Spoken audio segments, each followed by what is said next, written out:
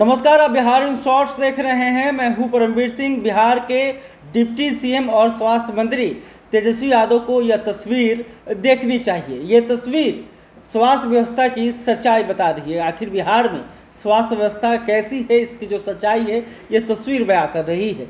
दरअसल, ये जो वीडियो है, वो बिहार के छपरा जिला का है। छपरा जिला के तरैया की यह घटना है, जहाँ पर एंबुलेंस नहीं मिलने के कारण मरीज़ को ठेले पर लाद कर अस्पताल लाया गया।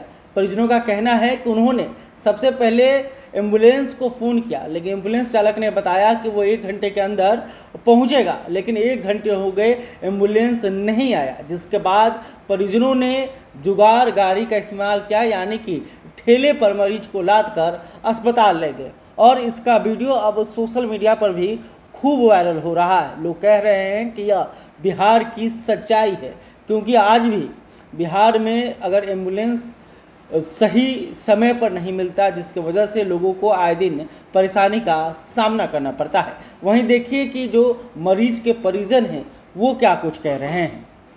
कितना दूर है यहाँ से चंचलिया? एक किलोमीटर। किलोमीटर एक किलोमीटर ठेला पर लाद के ला रहे हैं इनको। इमरजेंसी में लाना पड़ेगा?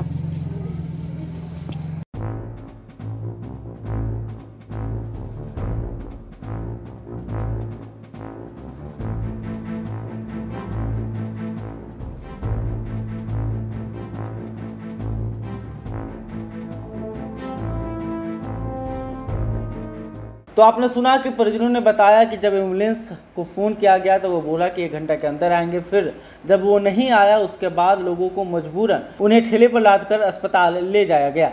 और यह कहीं ना कहीं बिहार की स्वास्थ्य व्यवस्था की सच्चाई बयां कर रही है कि आखिर बिहार में आज भी जो स्वास्थ्य व्यवस्था है, वो कैसी है, वो इससे कहीं ना कहीं मालूम चलता है। बहरहाल, अभी तक आपने हमारे चैनल को सब्सक्राइब नहीं किया तुरंत कर लें। इस खबर को लेकर आप क्या सोचते हैं, कमेंट करके बताइएगा। वीडियो फेसबुक पर देख रहे हो तो हमारे पेज को भी लाइक करें। धन्यवाद।